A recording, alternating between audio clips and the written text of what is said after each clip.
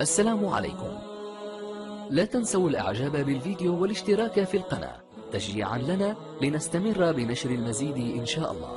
إن أعجبك الفيديو لا تنسى الإعجاب والاشتراك في القناة.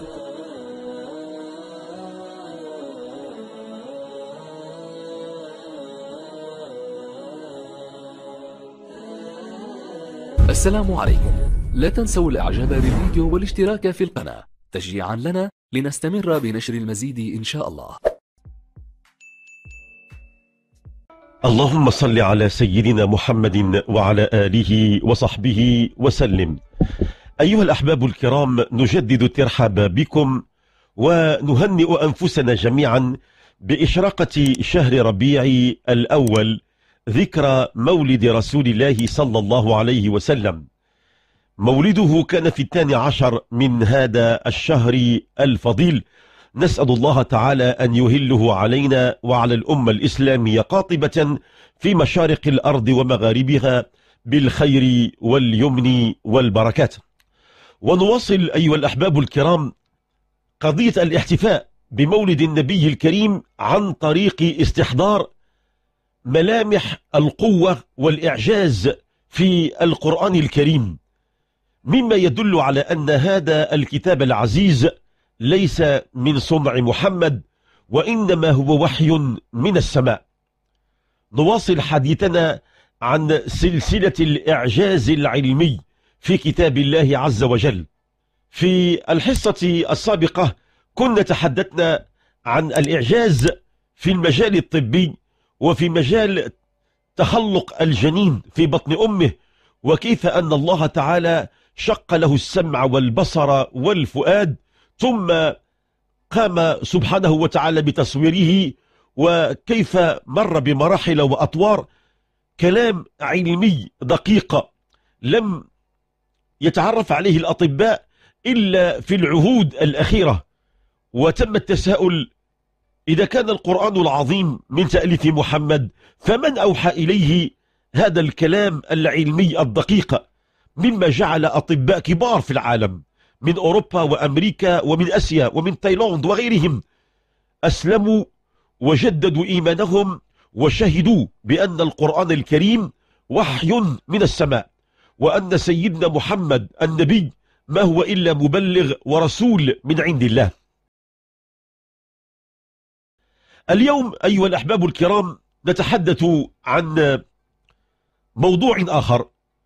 من مظاهر الإعجاز العلمي في كتاب الله جل علاه وهو عالم البحار والمحيطات.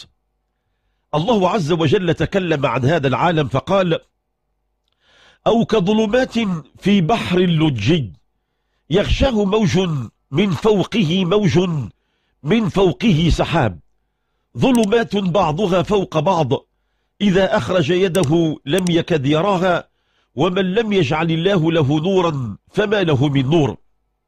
الحق جل جلاله يتكلم في هذه الآية الكريمة من سورة النور عن حقيقة علمية لم يتم اكتشافها إلا في ثلاثينيات القرن العشرين حينما تجمع فريق كبير من العلماء المختصين في عالم البحار واستعانوا بمجموعة كبيرة وضخمة من التقنيات.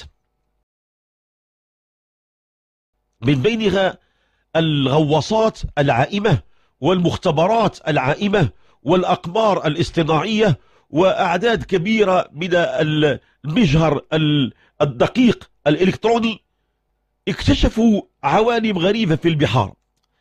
البشر أيام زمان كانوا يعتقدون بأن عالم البحر عالم غريب ولا يستطيعون أن يصلوا إلى أعماقه. كان الإنسان إلى حدود القرن التاسع عشر يبقى دائما في حدود من البحر. كان يظن بأن هناك أساطير وخرافات تحوم حول هذا العالم الغامض يسمى بحر الظلمات. اليونان مثلا كانوا يعتقدون بأن الأمواج البيضاء العالية هي عبارة عن عن جياد خيول للآلهة تمر فوق البحار ونسجوا الكثير من الخرافات والأساطير. وبقي الأمر خفيا لأن الإنسان لا يستطيع أن يغوص عميقا في أعماق البحار لأن نفسه تكاد تختنق. لما تطور البحث العلمي في مجال عالم البحار واستطاع الإنسان أن يميز بين نوعين من البحر. هناك البحر السطحي الذي تصل إليه أشعة الشمس وهناك البحر العميق الذي لا تكاد أبدا تصل إليه أشعة الشمس. فالإنسان منذ أن خلقه الله تعالى إلى حدود القرن التاسع عشر كان يلعب ويرتع فقط في مجال البحار السطحية ويسافر ويصطاد الأسماك ويظن بأنه تعرف على كل شيء. ويتخوف من بحار الظلمات. إلى أن ظهر هذا الفريق العلمي في عالم البحار مكون من عدد كبير من الباحثين. كان من بينهم الباحث الكبير العالم الفرنسي الشهير آه، كوستو. جاك كوستو. معروف بأنه خبير جدا في عالم البحار ونال جوائز علمية دولية كبيرة للغاية. هذا الرجل من خلال فريقه العلمي اكتشف أعداد كبيرة من المعطيات الجديدة التي لم تكن البشرية تعرفها عن عالم البحار. لكنه سوف يفاجأ لما يلتقي ببعض العلماء بعضهم في اليمن وبعضهم في الهند. وبالصدفة لما كان في الهند سمع شخصا هندي مسلم يقرأ القرآن العظيم. ويقرأ هذه الآيات. أو كظلمات في بحر لجي يغشاه موج من فوقه موج من فوقه سحاب. ظلمات بعضها فوق بعض إذا أخرج يده لم يكد يراها ومن لم يجعل الله له نورا فما له من نور. تفاجأ العالم الفرنسي الشهير جاك كوستو وقال للعالم الهندي المسلم ما هذا الكلام الذي تقول؟ قال هذا هو القرآن. إنه الذي أنزل على نبي الله الخاتم سيدنا محمد صلى الله عليه وسلم. شد كوستو في رأسه وقال نبيكم هذا متى كان؟ قال قبل أكثر من أربعة عشر قرنا. قال هل كان يركب البحر؟ هل كان يغوص في أعماق البحار؟ قال كلا. نبينا كان يعيش في الصحراء ومحاط بسلاسل جبلية. وكل سفرياته كانت عبارة عن أماكن قريبة بالخيول والجمال ولم يركب البحر قطعا أبدا. قال مستحيل. هذا الكلام الذي ذكرته الآن إنه آخر المعطيات التي توفر عليها البحث العلمي في مجال البحار والمحيطات. فبدأ يشرح ما معنى أو كظلمات في بحر اللجي. ما معنى البحر اللجي؟ هو البحر العميق لأن البحر السطحي يكون واضح والشمس تخترقه بأشعتها. لكن البحر اللجي هو البحر العميق جدا يبدأ من 500 متر ويستمر إلى أن يصل إلى ألف متر أو كظلمات في بحر اللجي. فقد تبين فعلا بأن هناك ظلمات دامسة. كل من دخل إلى القعر اللجي سيجد هناك ظلام دامس. لا يكاد يجد شيئا.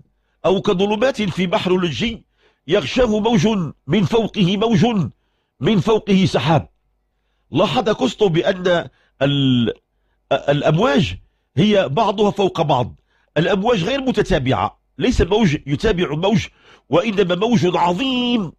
يتبع فوقه موج عظيم وفوقه موج آخر عظيم.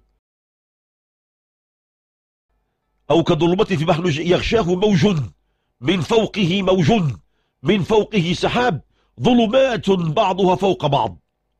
هنا قد وصلنا إلى القعر اللجي في الألف متر. ظلمات بعضها فوق بعض. حتى قالوا بأن الأسماك هناك لا ترى بعيونها وإنما عندها طاقة آه، كيماوية تستطيع بها أن تتعرف على الأشياء كأن عندها عندها مصابيح في أبصارها. وهناك مخلوقات سمكية وحيتان عمياء إنما تتلمس عن طريق الإحساس. ما عندها قدرة على الرؤية لأن الظلام دامس. ظلمات بعضها فوق بعض. إذا أخرج يده لم يكد يراها. لاحظوا القرآن يقول لم يكد. هذا يسمى بأفعال المقاربة. كاد يعني أن الله تعالى يصور تصويرا فنيا أن الغواص إذا دخل إلى القعر اللجي حتى يده لا يكاد يراها أبدا. ومن لم يجعل الله له نورا فما له من نور. ظلام دامس. كوستو قال هذه المعطيات المذكورة في هذه الآية هي آخر ما توصلنا إليها في المختبرات العلمية المكلفة بالبحار والمحيطات. لا يمكن أن يكون هذا الكلام مجرد نقل عن عن الأولين إنما هو حقائق علمية. ففوجئ كوستو بهذا الكلام. العلماء قالوا له هذه الآيات ما فهمنا منها؟ هي أن الله تعالى يتحدث عن النور وعن الظلمة. في أول الآيات ماذا قال ربنا عز وجل؟ الله نور السماوات والأرض مثل نوره كمشكاة فيها مصباح المصباح في زجاجة الزجاجة كأنها كوكب دري يوقد من شجرة مباركة زيتونة لا شرقية ولا غربية يكاد زيتها يضيء ولو لم تمسسه نار. نور على نور نور على نور. يهدي الله لنوره من يشاء ويضرب الله الأمثال للناس والله بكل شيء عليم. ربنا ساق هذه الآية في في مجال الحديث عن عالم النور وعالم الظلمة. تكلم عن عالم النور أولا نور الهداية.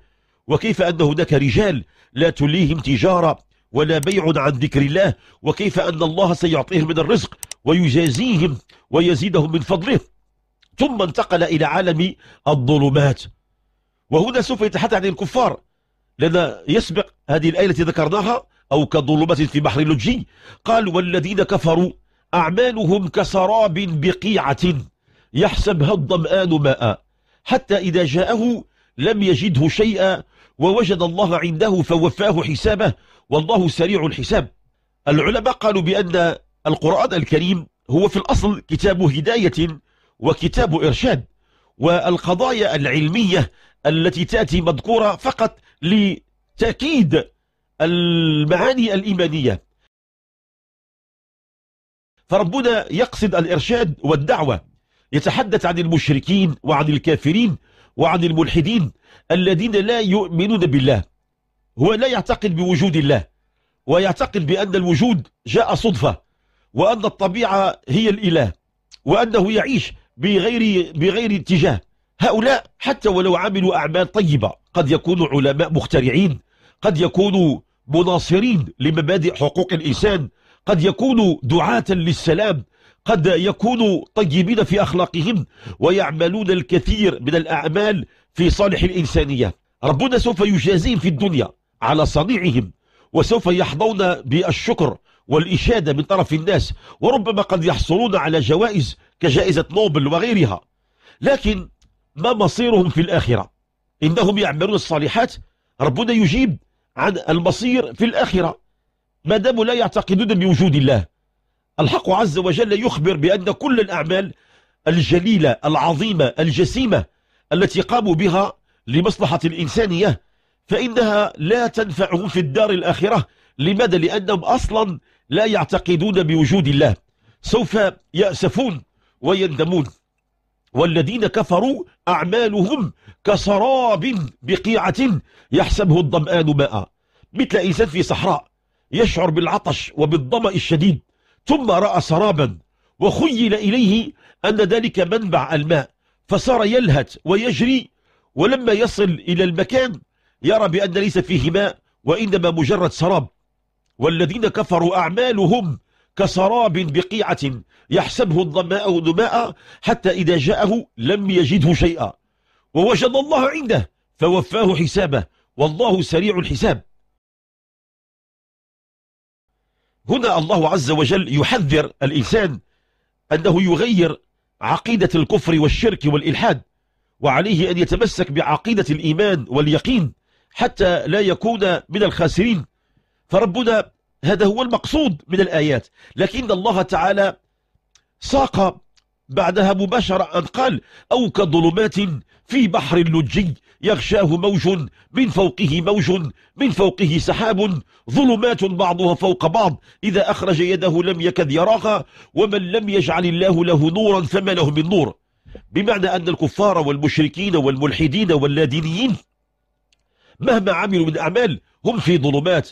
شبههم كأنهم في الأعماق البحار أنهم ليس في البحر السطحي وإنما في البحار العميقة الظلام الدامس. إلى أن قال ومن لم يجعل الله له نورا فما له من نور. العالم قسطو لما سمع هذه الآية هو اهتم فقط في الشطر الثاني الإعجاز العلمي والحقيقة العلمية. وربما قد لم ينتبه إلى إلى السياق العام الذي ربنا أراد به الهداية والإرشاد والتوجيه للبشر. فأسلم كسطو وقال أعطوني هذا القرآن أتملى فيه فبدأ يقلب صفحاته ويبحث عن الآيات المتعلقة بعالم البحار. لقد كاد يجن جنون الرجل. لقد صادف عدة آيات قرآنية فيها إعجاز علمي كبير في عدة مجالات. من ذلك مثلا أنه آه، لما كان يبحث في البحار والمحيطات وفي المضايق الصغرى.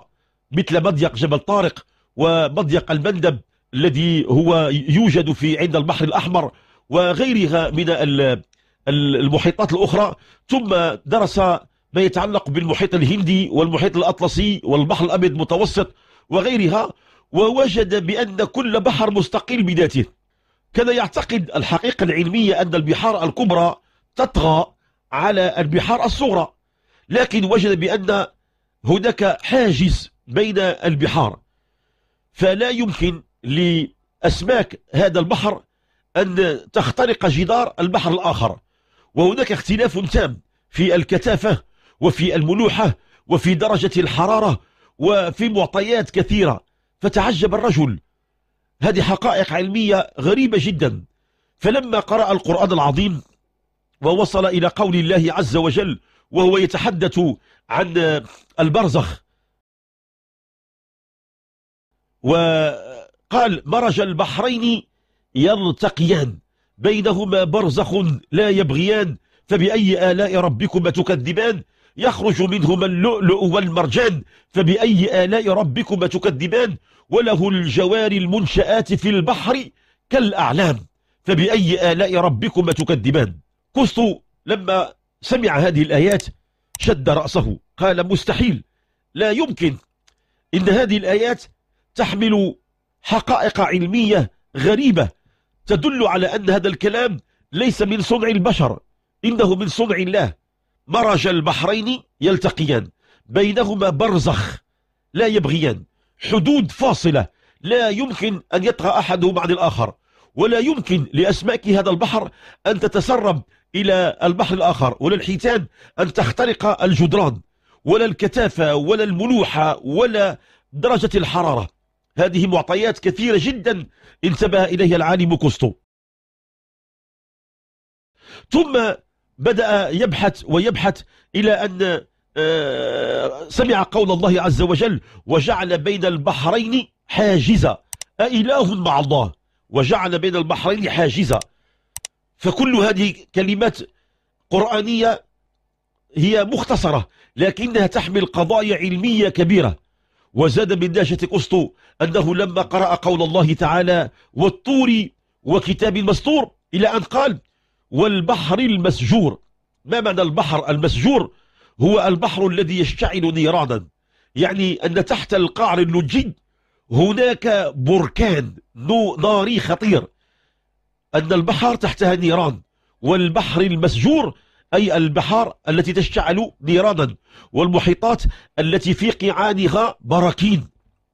هذه القضايا يقول كوستو بأننا توصلنا إليها بعد الثلاثينيات والخمسينيات من القرن العشرين.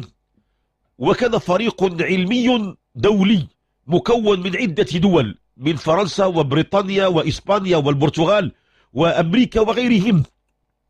اجتمعوا واستعانوا بالأقمار الاصطناعية في السماء واستعانوا بالغواصات في أعماق البحر واستعانوا بالمختبرات العائمة واستعانوا بالميكروسكوبات الدقيقة جدا.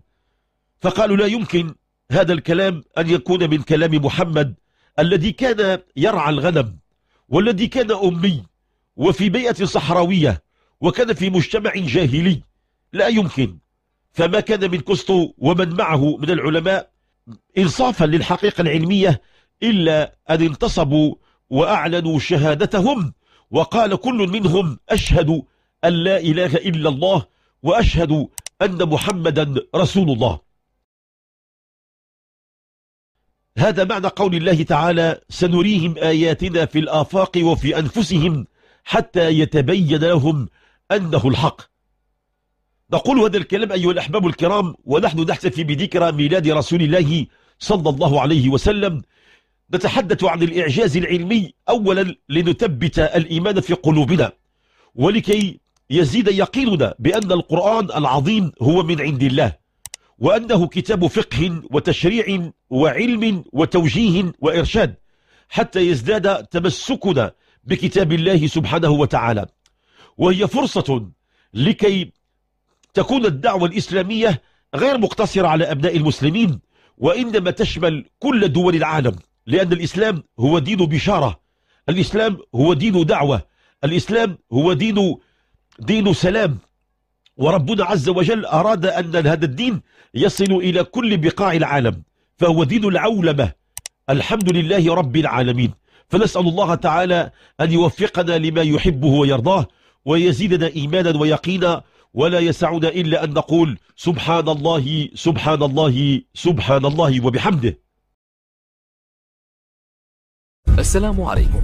لا تنسوا الإعجاب بالفيديو والاشتراك في القناة. تشجيعا لنا لنستمر بنشر المزيد إن شاء الله.